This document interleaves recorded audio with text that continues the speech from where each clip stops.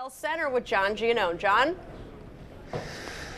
Yeah, Deb, thanks. And standing is the operative word. This is proof that Nik Antropov is six foot six. Uh, congratulations on the win. Uh, 65 minutes of what seemed to be nonstop playoff intensity hockey. Yeah, you just said it. I mean, nice to get two points. You know, both teams was a it was a huge game for both uh, teams, and I'm glad at the end we end up winning and got two points. You, but you were right. Yeah, it's it was 65 minutes of playoff hockey for sure. I know you're still learning about this team. Did you learn a little something about how resilient this team can be coming back after having three leads?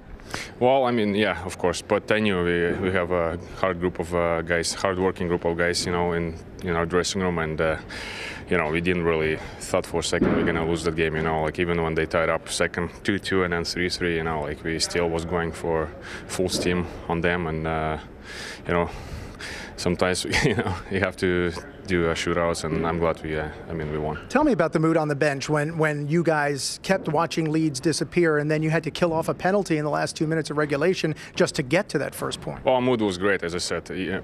Everybody was. Uh, everybody knows we're gonna back each other. You know, that's what we did. Uh, Scotty got the you know two minutes, but it was questionable, I would say. But I mean, two minutes is two minutes, and uh, we knew we are gonna back each other on the bench and on the ice, and uh, you know we killed those two penalties and uh, comes up with two points. Okay, we assigned one of our cameramen to follow you around all night. So we shine the spotlight on you here and see some of the work you did starting in the second period. Take us through some of this, Nik.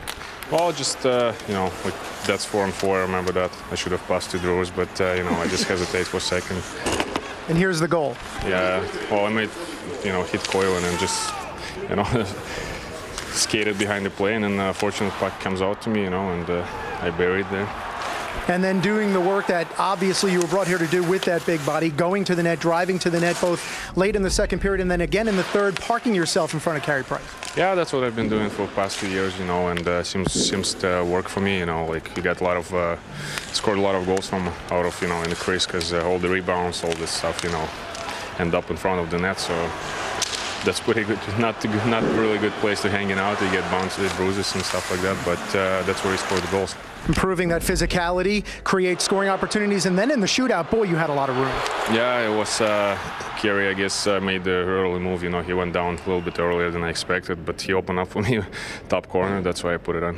How much you enjoying this experience? I know when you got traded, you obviously gained a lot of in the standings, but it's always difficult to join a new team at this time of year. How, how are you enjoying it so far? Well, it's as I said, it's been fun and nothing else. You know, uh, you moved from a team that's basically out of uh, playoffs, you know, and you moved to a team who's battling, and every every game you can be out of playoffs and in the playoffs, you know, and the standings up and down in standings. But it's as I said, it's that's what we play for, you know, to get into the playoffs and then hopefully make a run. Thanks for coming out. Thank you, guys. Nik Antropov with a goal in regulation, a goal in the shootout, part of a 4 3 win, and a huge second point for the Rangers here in Montreal. Deb and Stan, back to you in New York.